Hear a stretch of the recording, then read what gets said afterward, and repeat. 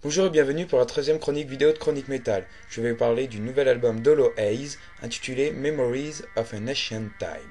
Hollow Haze, groupe de heavy metal italien, sortira donc son sixième album malgré le départ de leur chanteur Fabio Lione. Mais rassurez-vous, Matt Leven, Rick Alzi et Amanda Somerville sont venus assurer le chant sur cet album.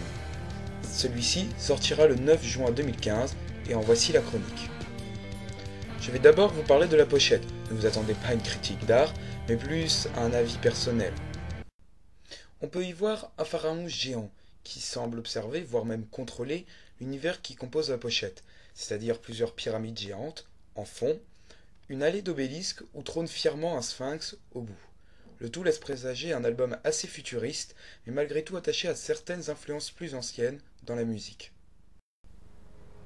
L'album commence par son intro nommé Out in the Darkness. On peut y entendre sur un fond d'explosion, de bourrasque de vent, la musique arrivant crescendo qui nous ouvre les portes de l'album. S'ensuit Rain of Firelight, avec son entrée assez rapide qui nous fait plonger dans cet album aux couleurs futuristes. Découvre après une minute de riff endiablé la voix du chanteur qui remplace Fabio Lione, une voix parfaite pour chanter du heavy ou du power qui peut monter facilement dans les aigus. Une entrée assez énergique et magistralement orchestrée par la présence de chœur qui amplifie la puissance du chant. La suivante, Created to Live, fut la première à me plaire, avec son refrain entêtant et ses riffs changeants. En effet, le morceau commence fort avec une batterie lourde, suivie par les guitares là encore assez power metal.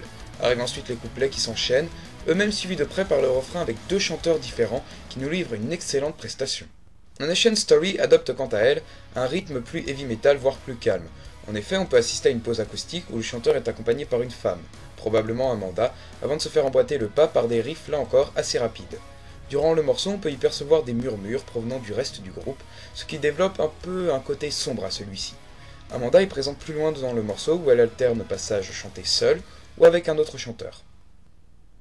S'enchaîne A New Era, un morceau paisible, commençant au violon, suivi peu de temps après par un piano au son assez mélancolique.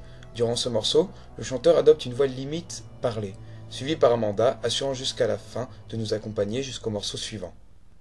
Qui n'est qu'autre que Night is Calling, qui commence comme une musique épique grâce aux multiples instruments utilisés et l'atmosphère qui en découle. Les chœurs et le chant particulier du chanteur appuient ce côté épique.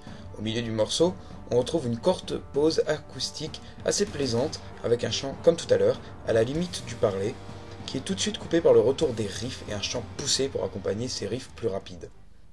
Angeli di Fuego commence par une mélodie au piano assez rapide, suivie par tous les autres instruments, ce qui donne un résultat vraiment bon. La chanson est quant à elle à moitié chantée en italien par un chanteur et en anglais par un autre, ce qui donne une dimension particulière au morceau. On y retrouve enfin Amanda qui chante sur deux couplets. La mélodie reste un mélange entre heavy et power, entrecoupé par des passages plus calmes pour les couplets chantés en italien. Silver Town commence par l'entrée de riffs assez mystérieux, annonçant clairement l'arrivée d'une tempête assez proche. En effet, après une courte pause, le rythme s'accélère avant de se calmer pour l'arrivée du chanteur, avant de repartir de plus belle pour le refrain et jusqu'à la fin du morceau. Eyes of the Sphinx est une belle balade heavy, avec une mélodie assez calme, mais ponctuée de certains morceaux avec des solos de guitare purement excellents. Le chanteur garde une voix parlée durant tout le morceau, ce qui accentue le côté tranquille de la chanson qui est vraiment entraînante. Lance of Destiny commence avec une petite intro orientale assez rapide, suivie par des riffs heavy bien lourds. Le rythme s'accélérant, les guitares deviennent plus claires. On change de chanteur, bref, le morceau est complètement différent du précédent avec une mélodie plus rapide et énergique. Le suivant, Demon, est du pur heavy, avec des riffs comme on les aime, assez rapides et graves. Un chant changeant des chanteurs accompagne le tout. Les riffs restent les mêmes durant tout le morceau, mais ils sont coupés au beau milieu par un très bon solo de guitare. Il y a même quelques passages acoustiques qui font office de pause durant ce morceau pour reprendre notre souffle. La dernière, Gate to the Eternity, commence par une mélodie assez moyenâgeuse. Celle-ci, comme Ace of the Sphinx, est une ballade assez posée, meilleure que cette dernière je trouve.